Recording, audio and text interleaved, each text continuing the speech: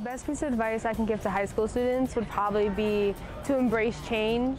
You're not going to be the same person you are at the end of college that you are in the beginning and be open to new majors and new people and new things and it can be scary but it's going to be okay in the end. On my first day of college I was really scared. I went to college five hours away from where my family is and I didn't know anybody in the whole state so I really just kind of uh, let my line out and tried my hardest and so I was terrified the biggest thing I learned in my time in college is that everything is meant to be.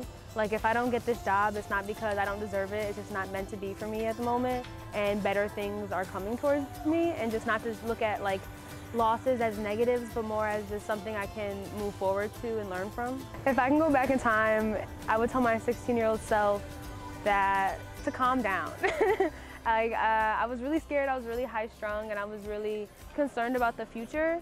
And I feel like I should have took more time to sit back and relax and just enjoy my friends and my high school and going to like prom, you know, so I would have just told myself to relax. um, being a part of Summer Springboard, I learned to work as a team and to improvise. I have the best team I could ask for here, so it's really easy to work with them, but it's so cool coming up with ideas and stuff, so.